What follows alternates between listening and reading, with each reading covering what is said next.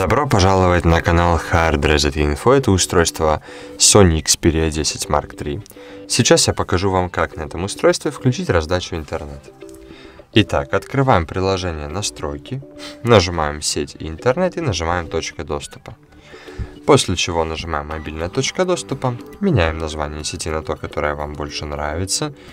Э, потом, что, меняем пароль на более нормальный.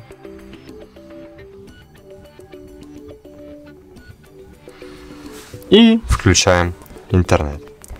Спасибо большое за просмотр этого видео. Ставьте лайки. А, кстати, забыл совсем сказать. По поводу 2,4 ГГц и 5 ГГц. Это нормально, что их что нельзя включить два диапазона сразу. Это удел флагманских э, и ультрафлагманских э, э, устройств. Смотрите, диапазон что это такое? 2,4 ГГц это волна, она получается не... Короче, давайте так по-простому объясню. Какая разница между 2,4 ГГц и 5 ГГц? 2,4 ГГц это более дальний э, сигнал, то есть на более дальних расстояниях. На более дальние расстояния сможет передавать сигнал э, ваш э, телефон, но при этом э, интернет будет медленнее, особенно если будет подключено несколько устройств, а не одно. То есть смотрите, вот представьте, что э, вода, э, что, что интернет это вода, да, которая по трубам перемещается. Вот, например, вот такая, вот с такой ширины труба, это э, ваш 2,4 герцовый э, поток.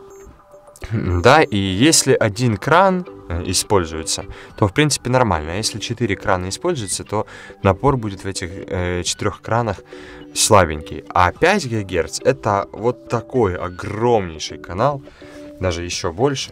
И все будет зависеть только от напора, то есть только от скорости вашего мобильного интернета.